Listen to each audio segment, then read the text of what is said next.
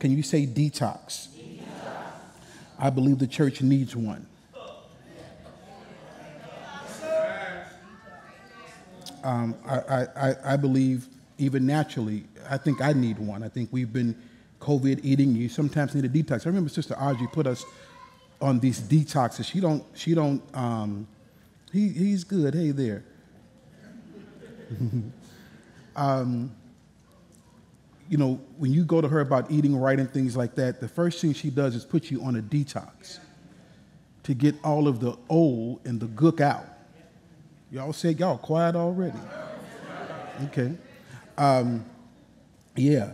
And, and, and, and, and, and so we're going to talk about this. I want to give you some objectives first, if you can put those on the screen, of what we want to cover um, during this series, the series objectives. If you can work with me today, um, let's roll with them, please. It is, um, this is what we want to kind of get you with this series understanding our salvation and the New Testament church. Keep rolling with me. What is the meaning or the ministry? What is the ministry of reconciliation? What is the ministry of reconciliation? Come on. Transformation of thought as it relates to Jesus and the Bible. Transformation of thought as it relates to Jesus and the Bible. Transformation means conversion to change, reconstruction. There is, thank you, sister. Your first time with us today, you filling in for Cam? Y'all give her a hand. I walked in, I said, Who is this on my organ over here? Transformation of thought as relates to Jesus. The next one, please. Um, the next slide, please. Dissecting and examining our understanding of Christianity. I think a lot of what we call or have come to know as Christianity has nothing to do with the personhood of Jesus. A lot of what we call church was never God's intent.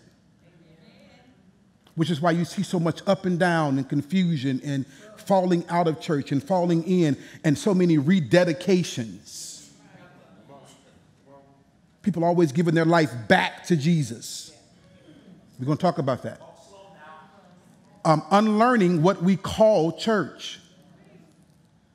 Unlearning what we call church. Church is what you're sitting in um, right now. It's what we call it. It's steeple, it's people, it's seats, it's carpet, it's a platform, it's instruments, it's 20 minutes of worship, it's give some money, it's a sermon, um, hug, greet, pat. That's what we call church. And you better get down here to it, or God's going to get you after a while if you don't come to church embracing God's idea, his idea, and his plan for his church. I think we know more than we understand, so we've added things to what we call church in Christianity that's, that was never his intent and that is not even in Scripture. And we've passed it down generation to generation. Is there any more? Confronting what we've been taught through the filter of Jesus. Everything should be put through the filter of Jesus. God put himself in Jesus. Jesus was fully God and fully man, and he walked the earth, and he did it for a reason. We should go back to that slide. We should confront everything we've been taught through the filter of Jesus. Not through your bishop, not through your apostle, not through your pastor, not even through me, through the filter of Jesus. In the book of Acts, they went home and they searched the scripture to make sure what the apostle was teaching was so. And so many people don't even read the Bible, don't even search the scripture. If their apostle said it, that's what it is. If the pastor said it, that's what we're going with. And that's why we're being bamboozled. So confront what we've been taught through the filter of Jesus. Come on, the next one. Mastering agape. Can I, can I help you with this? The whole church, all of us, need to be rebuked regarding this one because we have failed when it comes to how we treat people. He says treat everybody right, especially those in the household of faith. There's more fighting in here than out there. There's more discord in here than out there. So if we can't treat each other right, it's like, it's like people have all this dysfunction in their, their natural families and turmoil in their families. If you can't get along with Uncle Jed, I can't expect you to deal right with the person at your local church. You don't even talk to your mama. You still mad with your daddy. So how I expect you to come into church and love everybody and embrace everybody and submit to everybody and give to everybody and share with everybody and be open? No, it's not going to happen. That's why it's called mastering agape. I can't do that. Yes, you can. The love of God has been poured in the heart of the believer by the Holy Ghost. We're making decisions of who we're going to deal with. We've all failed at it. I, have taught on love, I've taught on forgiveness, I've taught on reconciliation, and there's still some people on my list that I don't fool with. Can we be honest up in here? Everybody got a list. I, I, I love them, I forgave them, but I don't fool with them. If you say you got a list, you a lie. Everybody got a list. I mean, I, am good. I ain't got no problem with them. I just don't fool with them. I ain't eating with them. I ain't calling them. They might not call me. We, we, but we good. I've released them out of my heart. So while you running through the other aisle at the Walmart when you see them in there, you done knocked over a whole end cap trying to get away from somebody that didn't even see you at the Walmart. I've been in Walmart and see people running from me. And I follow them. I follow them.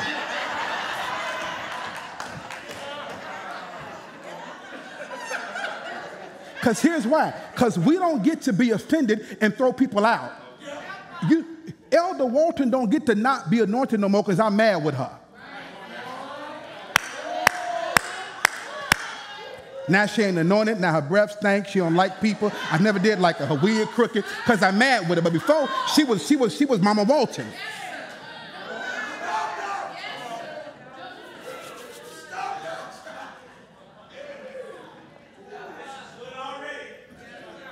And, and, and we have made the gathering as the church the destination.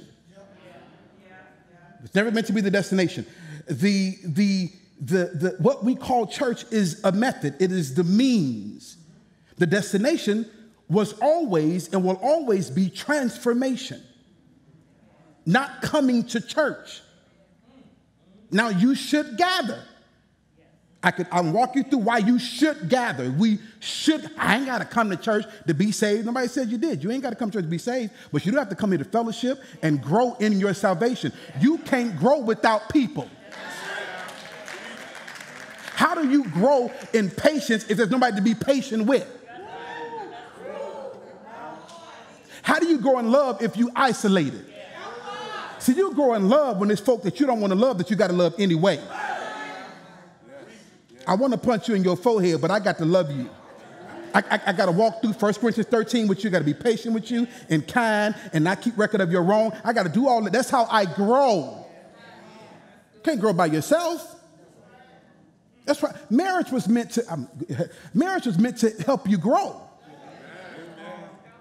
Because who else you got to be patient with and kind with and don't keep no record of wrong and, and, and, and be long suffering with than your spouse. Not your boo, your spouse. Because the reason you worn out is because you keep giving marriage stuff to your last four boyfriends. That ain't gonna work. It done wore you out now.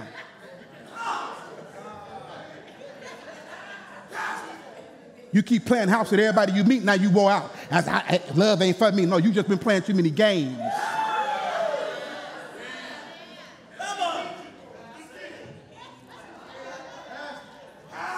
So I have officially, London and I have officially resigned from the culture we've created that is detached from the culture God intended. We've resigned from that. That is no longer, I'm no longer a part of that. I don't ever want to do what we call church again. Don't want to do it. Don't want to do it. It's not even in Scripture.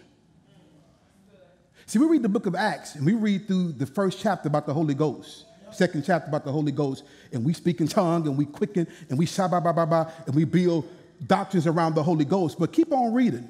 They had all things in common and they shared all things. Come, come on here. Come on here. Eh, eh, but it was a mega church. It was not. No, it wasn't. Th- those are Jesus meetings.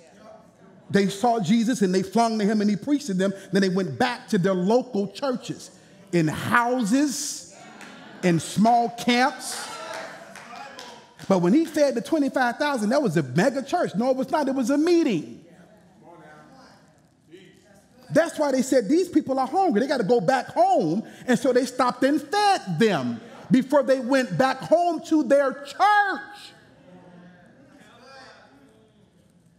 So we got to get back to the context of Scripture and not read stuff and say, well, that's what that means. No, no, no, no, no, no. Don't just read me verse 13. Start with verse 1 and then go back to chapter 3. Read all the three and four, not talk to me. And make sure whatever you're saying, you can pull three seats to the table to confirm it. Jesus said, Jesus. We must deconstruct our faith. A lot of what we learned about faith and Jesus and church needs to be reviewed, needs to be taken apart, needs to be assessed, needs to be critiqued because I believe we are incomplete in what we're doing. In some cases, we're just completely wrong. Wrong. And I believe we need a detox. What is detox? Put it on the screen. Oh, what is detox? Is there a definition up there? Come on, flow with me today. Yeah, I'll read it. It is, it is, you got it? No, you don't have it? I didn't send it to you? Okay. You should hear the saints. Well, you, whenever it's something, the saints go to pray. Oh, yeah, yeah, you know, we, we make everything warfare. You, you get the wall, but ain't no carts. The devils like, ain't no carts. No, no, no, no, no. Either I didn't send it to her, she can't find it. I don't know. But either way, we going to move on. But the saints already warring. The Ha, ha, ha. Devil ain't gonna block this message. Ha, talk, ha, ha.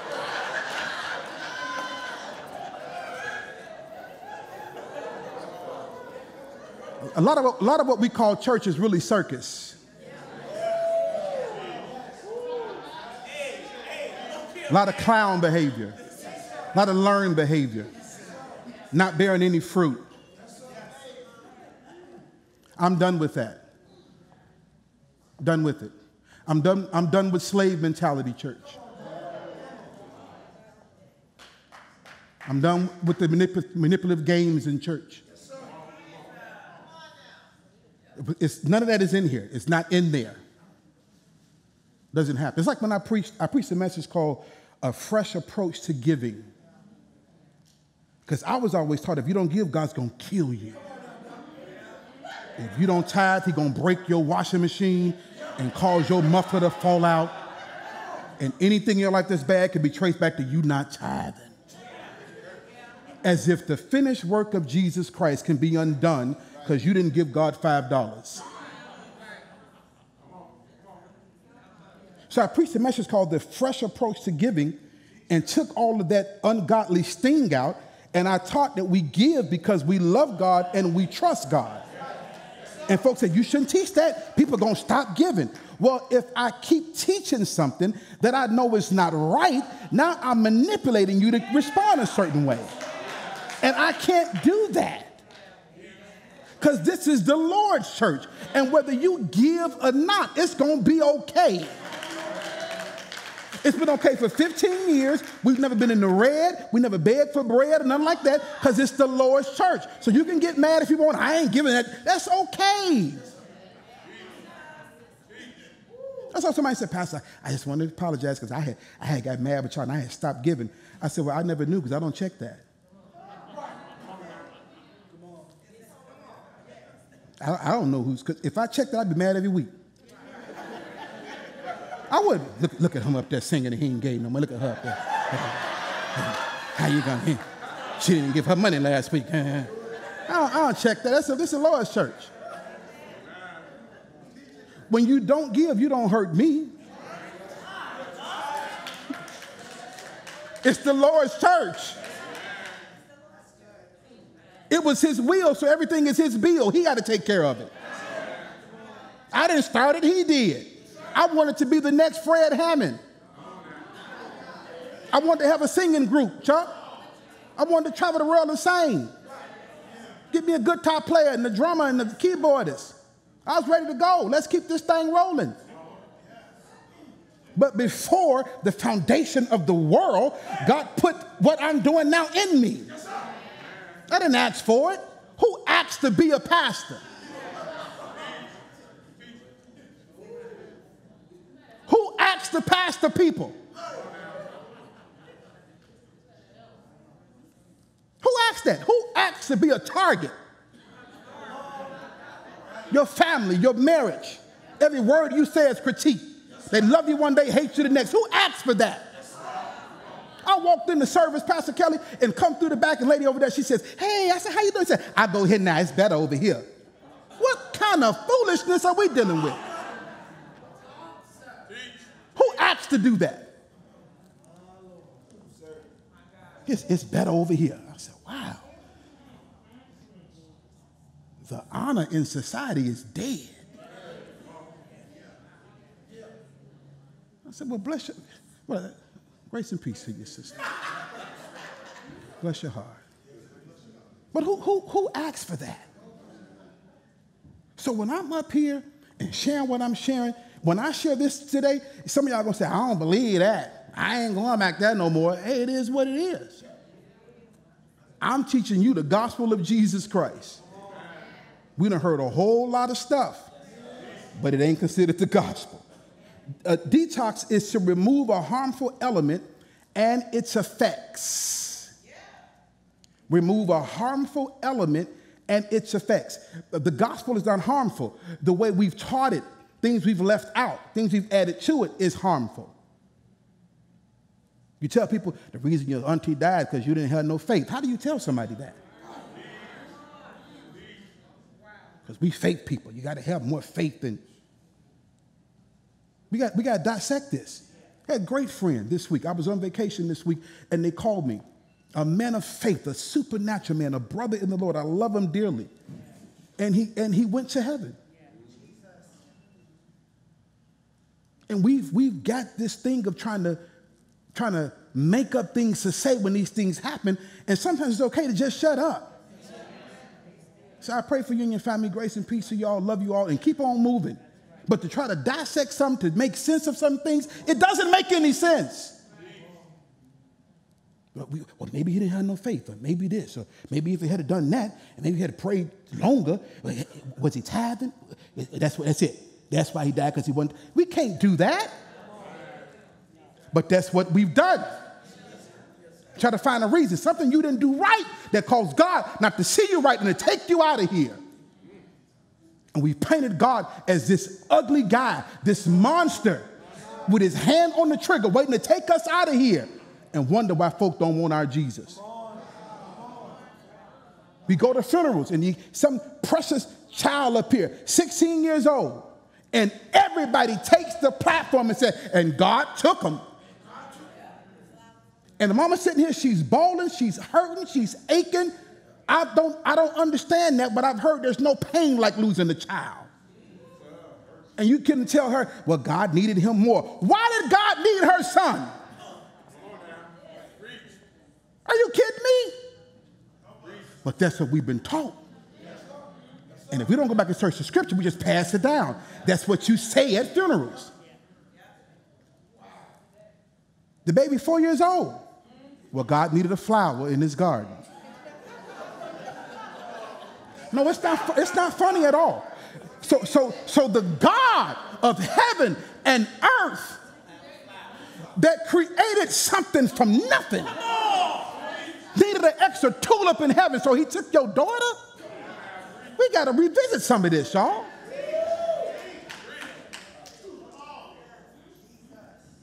And then you tell me what a family that hears that and have no understanding of Scripture. What do they leave thinking?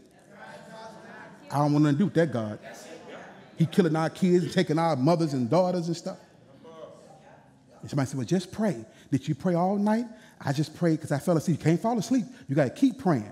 Did you fast? I, I, fast. Did you fast water only or did you fast everything? Well, I, I ate fruit. You got to, you can't eat nothing when you believe in God, honey. And you got all these rules and all this stuff and all these checks you got to do and cross this I and dot that T. And, and, and then when something happens, now what you going to say?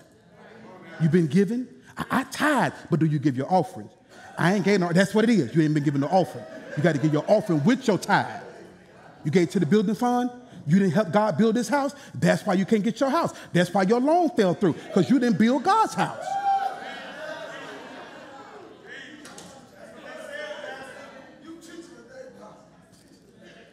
And I'm quite frankly just sick of it. And I've been searching the scripture for the last couple of years, and I don't, I don't just grab some, let me go teach this. I've been looking at this and looking at it and reading it and looking at it and reading it again and sitting with the Lord and sitting with other people that, that, that, that, that have got this revelation said, what, now what's up with this? And what does that mean? I got a question here. So is that right? Did he, did he come? Was it three days or four? Because we got to we to go through this. And we have been so okay with just heaven church. I don't even think the believer understands the weightiness of the death, burial, and resurrection of Jesus. Because we're too busy with he got up, he got up, ah, he got up with all power, all power. And you mean to tell me for 30 years you've been saying he got up and you and you still down? We missing, we missing something. No, I'm not trying to be funny. I'm not making fun. Let me help. Let me put this disclaimer out there. I am in no way um, making fun of what we learned, what we were taught. We were taught by people who knew what they knew, and I don't think it was it was it was wrong. I think it was incomplete. And as you learn more revelation, you got to walk in it and you got to share it. I can't keep holding back the message of giving when I know the better now. No, don't tell them that. They're going to stop giving. So tell them, keep telling them, will a man rob God? And if they do, he going to kill them. Keep telling them that. And their whole family going to be cursed with a curse forever because they didn't get that 10%. I looked at it. I looked at it. I looked at things like communion. You see people in service, I, I ain't, going to take that. Because what you're saying, what you're saying is, between last week and this week, I did some things. So I ain't worthy of taking communion because if I do, I may die. That's what they told us. Well, here's the deal. If that makes me unworthy, there ain't nobody worthy then. Because you, you, you may have not acted on some stuff, but you done thought some stuff this week. You, you, you, you, you, you, done, you done in your mind call somebody an MF this week. You done did it. Yeah. In your mind, you done did it. You done looked at somebody's breast. You done watched something you weren't supposed to be watching. You done, eh, eh, yeah, it's, so ain't none of us worthy. Pass the bread and cup that don't, I ain't taking it either. Because they, they told us if you take communion and you ain't worthy, you're going to die. And nobody searched scripture and said, what does that really mean? Because if that's the case, then I should have died back in 93.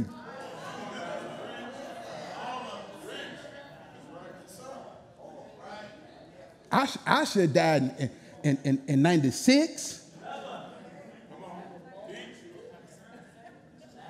I, I, I should die back in 89. Because I watch some stuff all night and come to and take communion break the bread, praise God, and shout, oh, the blood.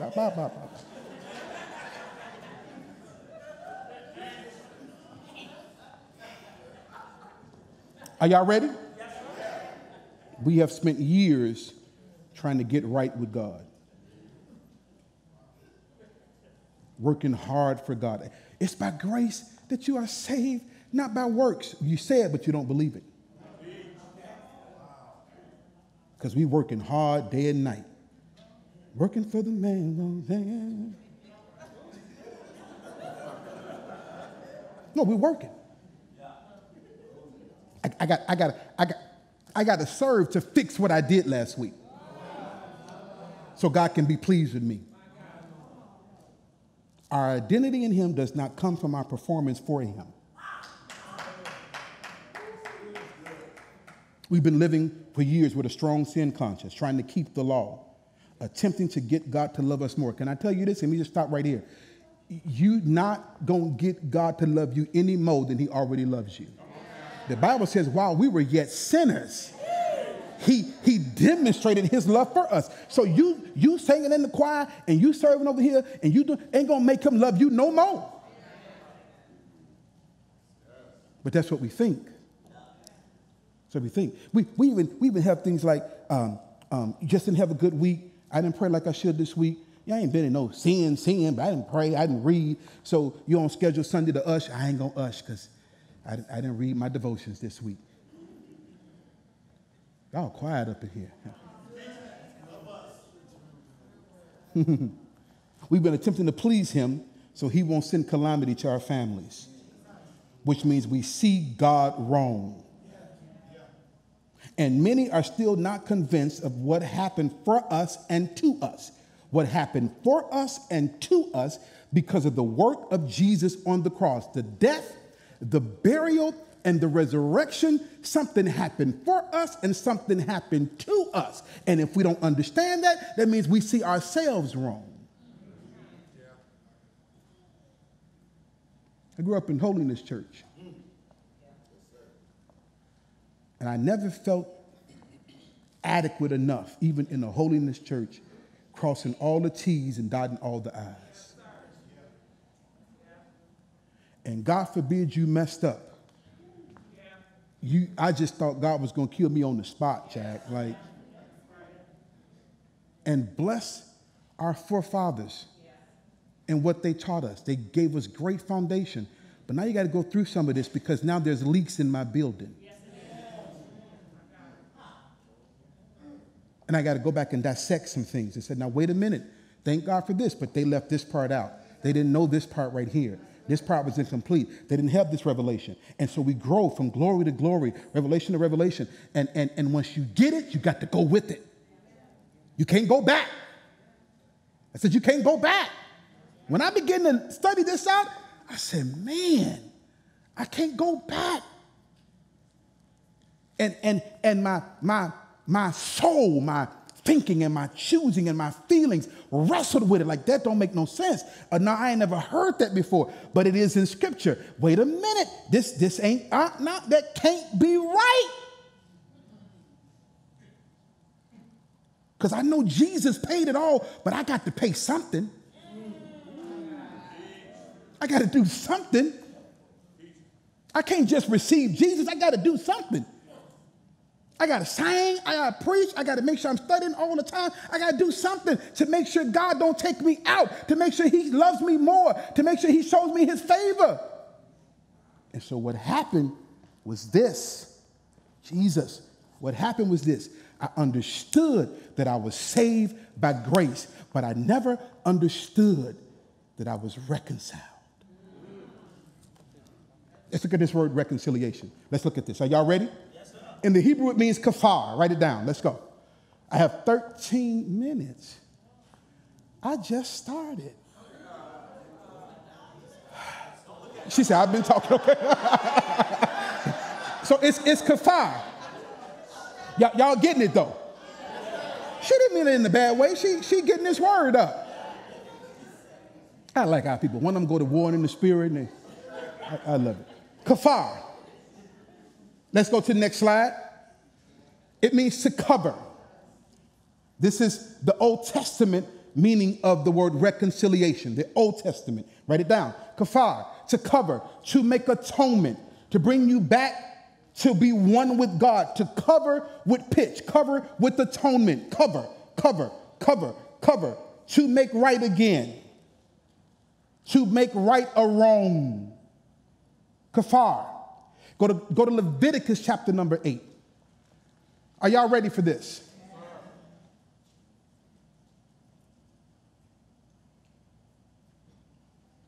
This, what I want to teach you today, is the reason why people don't stay in church, because they don't know this.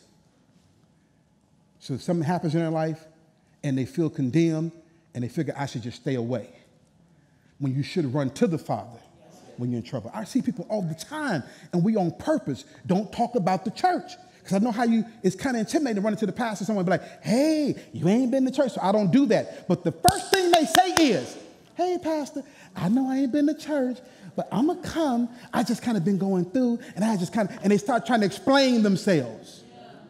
That's their guilt talking. That's shame talking. And we've been teaching shame off of you, but I'm gonna show you how to get the shame off of you and keep it off of you. I used to lead worship, and, and, and I, I would have some horrible times prior to getting to church or the week before. And I would get there early so I can pray real hard to make sure that the Lord is with me today because I, I ain't been a good guy this week. It's not in Scripture. Because what that caused, first of all, that was me in pride, thinking that I had something I had to do and to accomplish with the people in worship. So let me make sure I'm right Make sure God forgives me real quick because you ask God to forgive you every day. Real quick, so I go out here and lead the worship so I can do my thing. Not in Scripture. Leviticus 8, chapter 15, verse, and he slew it. He slew the young bull, and Moses took the blood and put it upon the horns of the altar round about with his finger and purified the altar. Can you say altar? And poured the blood at the bottom of the what? Come on, wake up. At the bottom of the what? Altar. And sanctified it to make what? Reconciliation upon it. To make kafar. To make atonement, to cover. He poured the blood at the bottom of the what? Altar. What happens at altars? Talk, talk. Stuff die. That's it. Things die at the altar.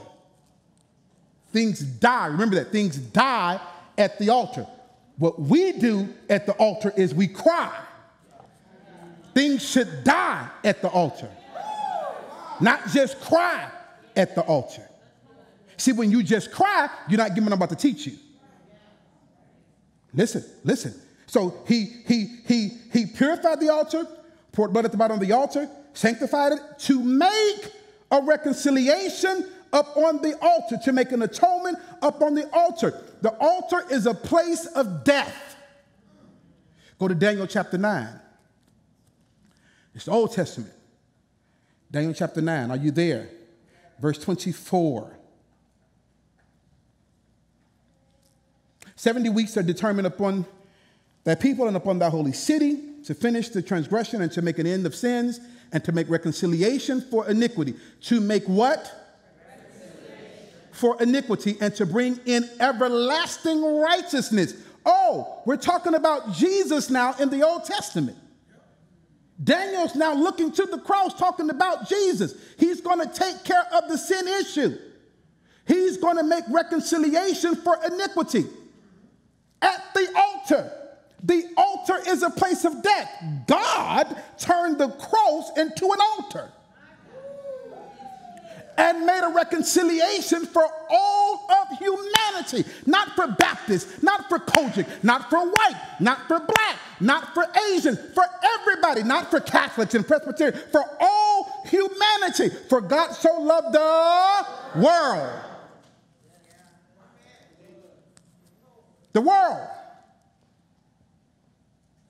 the whole world. Now go to the New Testament. Look at reconciliation in the Greek. Katalaga. Katalaga, katalage. Say it without spitting your neighbor. Katalaga. I went to spit the other day and forgot I had a mask on. Just a terrible thing.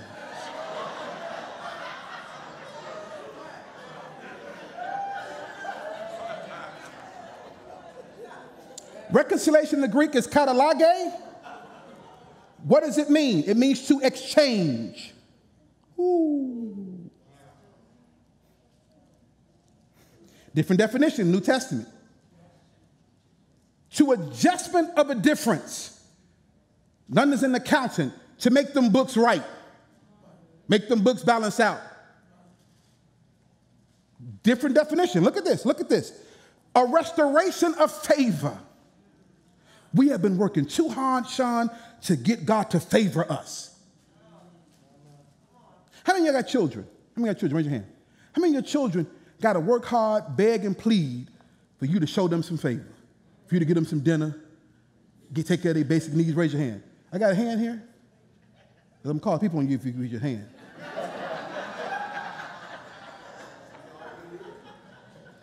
because, because that's just what you do. Even when you're not happy with them. Even when they done got on your nerve. Even when you want to push them down the flight of stairs.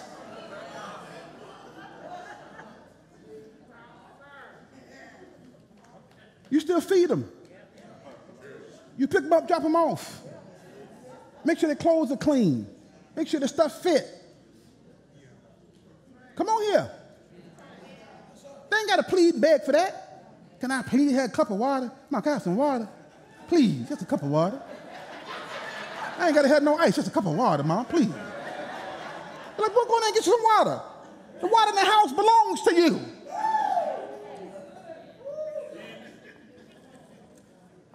Please, please, can I, can I have a cookie? a cookie. I saw something in the cupboard. Can I please have a cookie? I've been good this week, and I, can I go, go get you a cookie and some water? Put some ice in it, because it belongs. That's what we do for our children. Favor just comes with us being their parents. Are y'all still here? Now go to 2 Corinthians chapter 5. If I'm going too fast, just slow down. If you don't want to hear no more, I don't know what to tell you, but I got five minutes, man. And uh, 2 Corinthians 5, verse 16, it says, Wherefore, henceforth, this, this is why I don't fool with this King James sometimes. It's just too much. It's right off the bat. Wherefore, henceforth. That's a whole lot right there.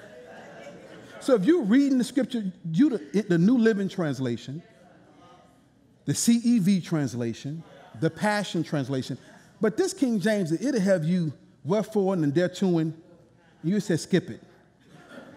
So wherefore henceforth, know we no man after the flesh.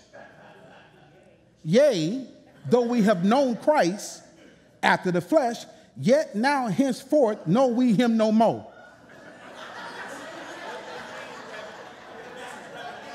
And here's what has happened. We read that in church, say, preach, read, read, mother, and don't know what they read, don't have no understanding.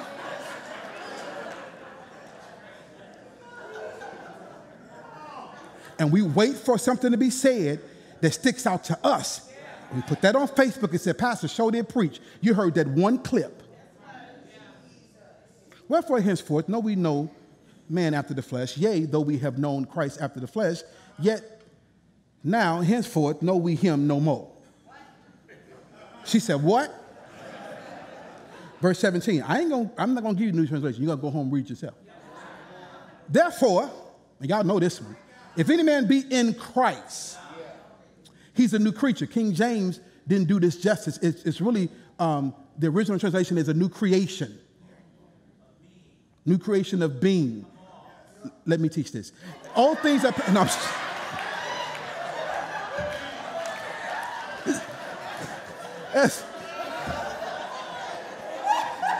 listen, that's Ellis. That's my son. He gon' he gonna take over if you let him anyway. So I'm in the back. They, they said Ellis is here. So oh, here we come. He said, here he come. Doc, what's up? Good morning, Doc. Doc. And you know, before service, I sit in the back and meditate to make sure I'm right.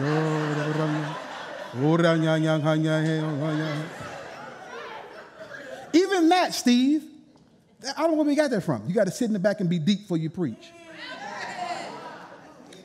If you ain't got it by now, you ain't gonna have it. You gotta sit back there and be quiet and be sanctimonious. Can nobody say nothing? And, and, and light a candle and play some soft music. I gotta preach the word. The people are here to get the word. what, what is all of that?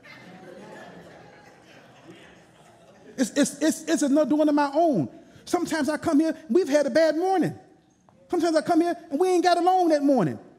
And I preach some of the best messages on those times because it ain't got nothing to do with me anyway. Because I'm human. Can, can y'all accept that, that your pastor is human? Y'all don't know why y'all think I fly from heaven every Sunday. And when they'll save me a spot from a spaceship out back and I come on in here, preaching and go back up to glory. No. I got to get up just like you and get dressed. And sometimes I'm up and they ain't up. Get up. Why you ain't up here? Get up. We got to get ready. got to go. And all this is going on before I got to come in and preach to y'all. So give me some grace. Give her some grace. Give my family some grace. That's what we give y'all all the time.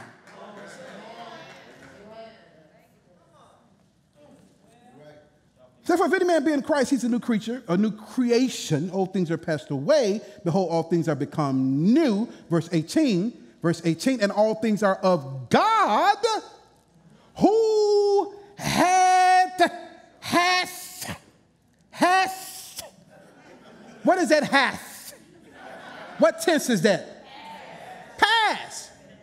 Has reconciled us to himself by Jesus Christ and has given us the ministry, oh, y'all, of reconciliation to wit, to wit, to wit. Verse 19, that God was in Christ, God was in Christ.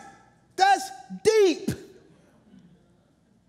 God put himself in Christ, reconciling the world unto himself, not imputing their trespasses or sins unto them, and had committed unto us the word of reconciliation. Now we are, now then, we are ambassadors for Christ, as though God did beseech you by us. We pray in, to you in Christ's stead, be ye reconciled to God. He's not talking to sinners, he's talking to the church right here. But, Pastor, you can't reconcile the world back to God because they got a sin problem. You're doggone right we did. We got to deal with the sin problem first. You can't reconcile a holy people to unholy people to a holy God. God couldn't find a human being that was spotless, that had kept the law. So what did he do? He moved into Jesus and counted our sins against Jesus. I know, Reverend. I know. I got that part. That's why when I got saved, all of my sins from that point on, he had, you know, he up to that point when I got saved, he dealt with all those sins.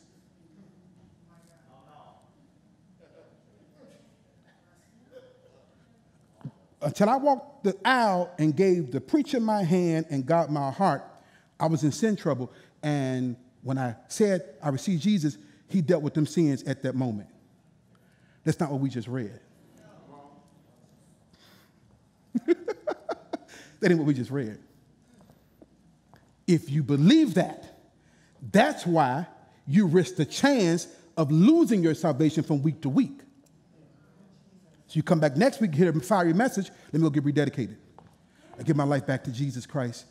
Why? Because somewhere between last Sunday and this Sunday, you feel like you lost it. Y'all got quiet on me now. I got quiet on me now.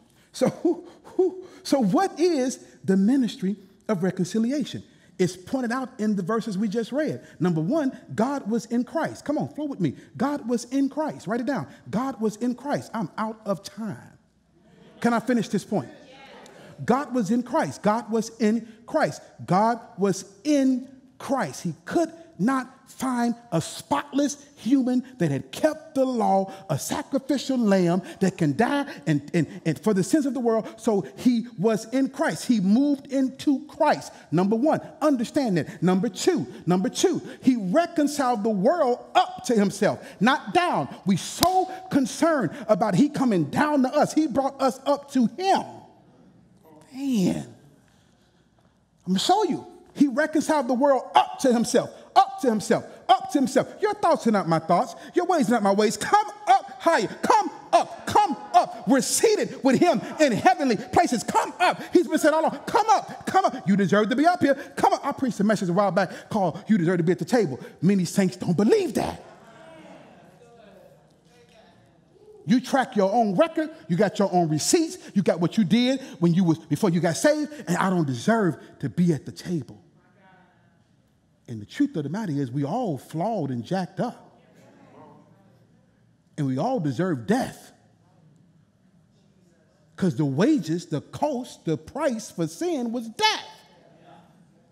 So he moved into Jesus, reconciled the whole world to himself. Number three, number three, he did not count their sins, sins against them. Their sins against them.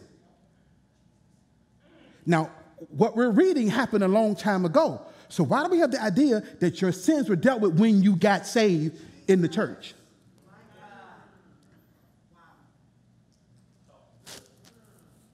Don't run out on me. Just listen. Stick around for a while. We're going to lay this whole thing out. Number four, it's in what we just read. He gave us his church the job of telling this good news to the world. This is where we've kind of missed it, Elder Floyd. We've been telling folk God gonna kill him, God gonna get you. You didn't do this, you didn't do that. That's to this and that's to that, and why you didn't do this, and you didn't cross that, and you going to hell, and you going behind her. You might go tonight, get yourself together, get right with God, stay right. And your hair was too short, and your hair was too long, and your blouse was too tight, and it was too loose, and your breast was too big, and your booty was too flat, and you couldn't wear a hat. You got to wear a hat. You don't wear glasses. You don't wear no lipstick. Wear lipstick, and we just got everybody just all confused. And we say, you know what? Skip it. Build your church. Build it. I'm gonna go down here. Bye. See you later.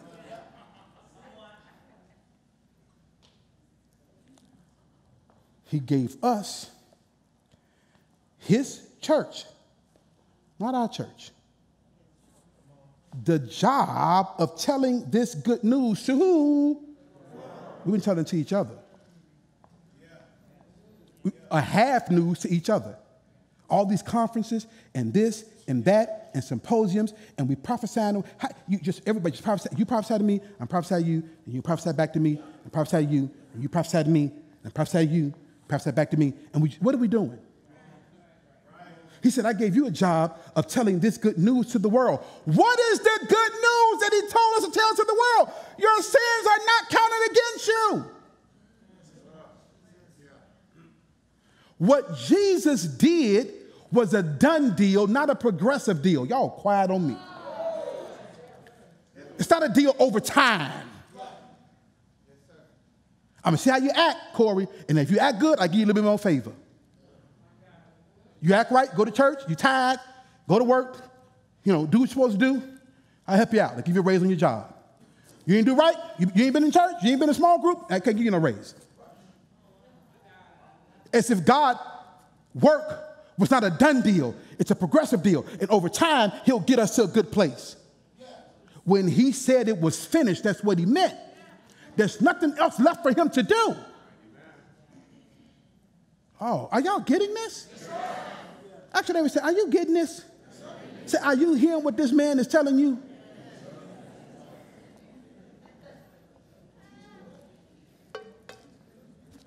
So, although we're saved, Corey, we've been told all the things we must do to please God, to be blessed by God, to be anointed by God, to go to heaven.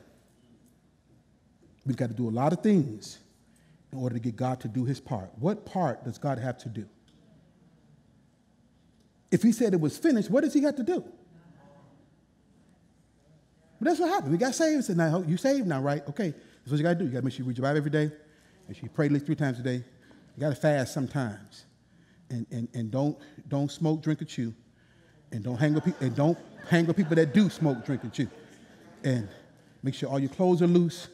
And make sure you don't wear red lipstick. Just, just got to make sure you do all these things now. Because then God is going to favor your family. And, and anointing going to be on you so strong.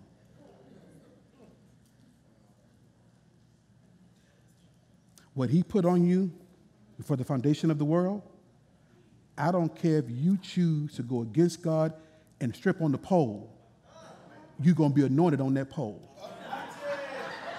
No, no, I'm not trying to be funny. If you choose, come here. Sean, Sean is an anointed vessel, especially when he wear this ephod he got on this. Come stand here, man. Would y'all agree that he's anointed? I said, would you agree that he's anointed? You can clap. He, he think he, he didn't ask for this. He was born with it. You can't, you can't go to school for this. This can't be taught. It was in him when he came out the womb. Now, if he chooses to stop leading worship at Lifeline Church and go and sing at Ray's Boom Boom Room, he's going to be just as anointed down there.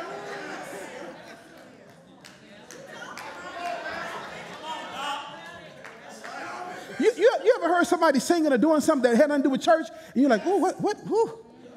I, I sense an anointing. What is?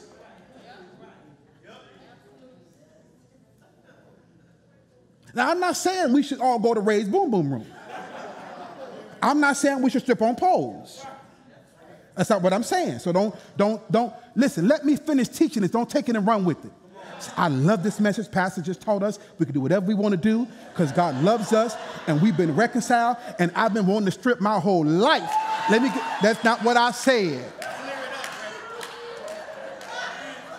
I got the booty for it. I got the breath. Girl, I've been waiting on this gospel. That's not what I said.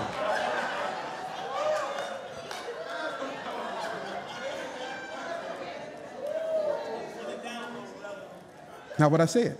It's like, it's like people, people tell me, you know, I, London and I don't drink. Well, we don't drink on Sunday. We, we don't, no, we don't drink. I'm just, no, we don't drink. I drank one time. Deacons gave me drink at a bachelor party. The deacons did. They put Cisco, Mad Dog, and what else was that? In a cup, in the McDonald's cup. They were trying to kill me. They were trying to kill me.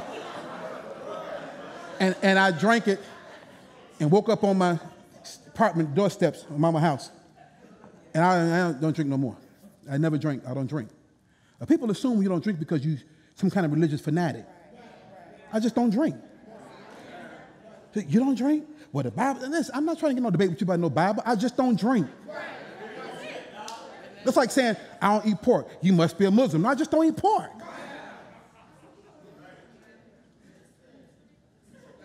So I'm not telling you to go do nothing. So don't, if, if you're waiting on that kind of series to be free to go do what you always wanted to do, then go on and do it. You need no scripture for that. Don't put that on me. That's not what I'm teaching. I'm rightly dividing the word that we didn't got wrong for a whole lot of years. And we're sitting up here condemned and hurt and love God, don't know if He loves us, and trying to get sickness off of us. And we, we've made Christianity too hard. And you go to conference and you be there for seven days, seven days, and leave the same way you came. And we singing about the fire and singing about healing and singing about the spirit, the supernatural, and nothing happens. That was never meant to be. What are we doing? What are we doing? And no offense, but black people like church like that. We like circus church. We like eye candy and tricks and gimmicks. So we got so easily. Just do a dance for us and we good to go. And don't know the scripture. And I'm sick of it. I'm sick of talking to people about, I, I, I don't do church anymore because I, have been waiting for my healing and my mama died. And they told me I didn't have enough faith. So sorry that's your experience, my brother. Well, let me show you some in scripture. You don't tell nobody no mess like that. How arrogant have we become? To think we got a lock on the scripture and to tell somebody something like that? But that's common in the body of Christ. That's common. It's common. It makes me feel better to be able to give you an answer to what's going on with you. It's like you go to the doctor, they ask you all these questions so they can tell you, um, oh, yeah, so you, you, have, you cough lately, you did this, did this one in your family, uh, you got mice in your house, all these dumb questions. Like, wait, like what?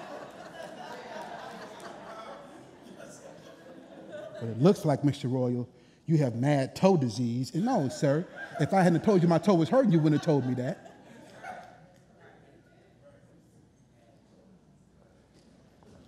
Go to Romans chapter 5 and I'm going to sit down. Always wondered as a, as a youth, we had, I, I love youth. I grew up in youth church. I grew up youth group, you know, camps. And I always wondered why every camp, all the youth get saved again. then when I got out of youth church, I was like, the adults do the same thing. Like, open altar, here they come, crying again, want to get saved again, We dedicate their life again. Like, what happened between last Sunday and this Sunday that you lost your salvation? What did you do? It's not what you did, it's what you've been taught. As God, as, as, if, as if what God did on the cross was fragile and it could be undone. You smoked weed last week and you messed up all of what he did on the cross. Got to come do it again. Oh, you, you ain't got that. that. Stop it. Romans, Jesus, I have a righteous indignation. Righteous. Because I, I, we just can't keep going on this, on this level. How we treat one another, how we judge and condemn one another for stuff you doing yourself, stuff you just ain't got caught with, you talking about somebody else. Are you kidding me? Romans 5. But God demonstrates his own love toward us, and that while we were sinners, Christ died for us.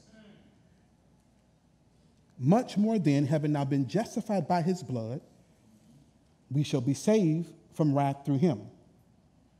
For if when we were enemies, we were listen to what I'm about to read, y'all, dear pre- precious people of the Lord. We were reconciled to God through the death of his son. When did Jesus die? Huh? I ain't talking about Friday or Sunday and it was three days, with two days, or two and a half days. I ain't talking about that. He got, I ain't talking about that. When did he die? Years ago, right? Somebody said 2,000 years ago. Study it out, because we've been saying 2,000 years for 3,000 years. 2,000 years ago. He got a. Stop saying stuff you don't know what you're saying. No, I said it too. It's staple. 2,000 years uh, ago. 2,000 years ago on a cross, on a hill. Like that 2,000 never changed. It should at least be 2,500 by now, son.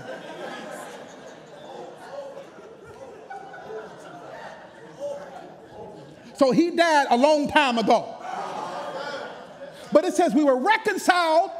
We were reconciled. Kind of like God, we were reconciled. We were reconciled to God through his death, not when we came to the altar.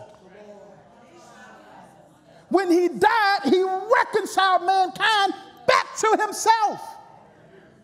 It's a done deal. Oh, God. Much more, having been reconciled, we shall be saved by his life. So, so when he died, he reconciled us, but he had to get up. When he got up, we were saved. Because he lives, I can now face tomorrow. So we come up here and think, when I came to the altar, God did it. No, he did it long time ago. We were reconciled when Jesus died. The wages for sin, which was death, had been paid. We were saved when he rose from the dead. So we're reconciled by his death and we're saved by his life. And we thought our sins up to that moment we got saved had been, were going to be dealt with. No, no. The, really, the reality is this none of our sins have ever been counted against us because Jesus died. And the whole room got quiet. It changes how we see God, people. I did not say sin wasn't a big deal because sin will ruin your life, it'll unravel your life. I mean, how many of y'all been in sin and, and, and seeing the consequences of sin? Okay, so I ain't telling you sin ain't no big deal. Sin will ruin your, it'll kill you.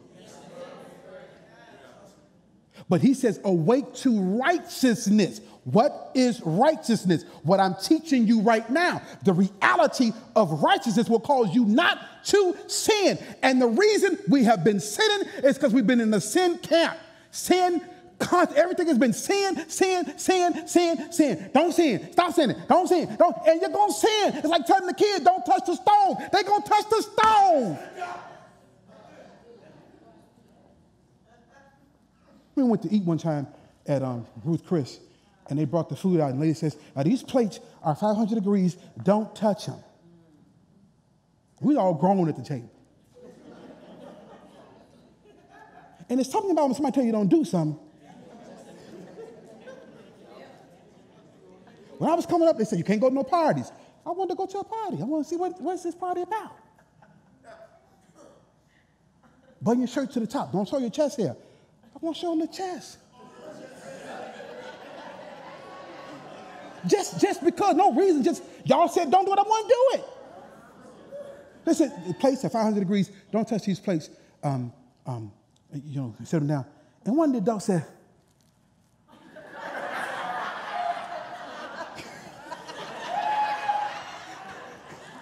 Because there's something natural about when you're told not to do something. I gotta see for myself. I gotta see. He's like, he said, Hi. I said, they told you not to touch it.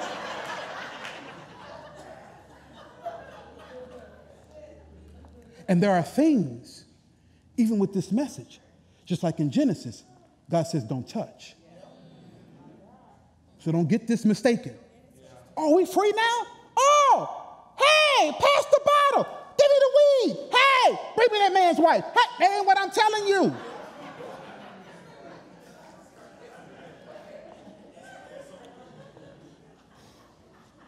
Sin brings sickness, it brings regret, it brings pain, it brings loss, it separates you from God.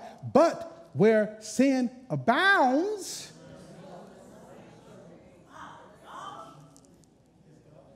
grace much more abounds. And this grace did not come when you sinned. This grace is bigger than a sin coverage. Stop teaching it like that. Grace is Jesus. Jesus is the grace of God. Jesus is what God thinks about us. While we were sinners, He thought of us and said, Wait a minute, I got to find a man to fix this. I can't find a man. Let me move into Jesus. Let me send my son to take the penalty and pay the price for what they should be doing. And when you think about that, and somebody has been that good to you, you say, Man, I want to serve them. I want to love them. People come and say, I love this church. I love you, Pastor. I don't call y'all mom and pops uh, gimmicky. The teaching you guys have released have changed my life, and I submit to the teaching. I submit to you all, and they want to serve. They want to love the Lord. Nobody's forcing nobody to do nothing here. And he ain't forcing us either. Are, are y'all getting this? I'm, I'm, I'm so out of time. I'm sorry. Um, um, um, said, This is grace. And this is what people need to hear when they come into your church and into your presence. That God is not mad with you, He's in love with you, He's died for you, He took care of your sin issue a long time ago. Just come in and, and receive Him and live the life That's what they need to hear. Now, come on up here and get saved. You, you get saved or you're going to go to hell. You're going to hell. And some of us didn't really get saved. They scared the hell out of us. Yeah. Hell. Fire. I don't want no fire. I'm going down to the altar.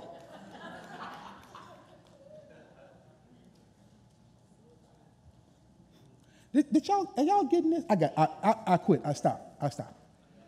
I, I don't talk no more. If you receive what I was saying, can you clap at least or something?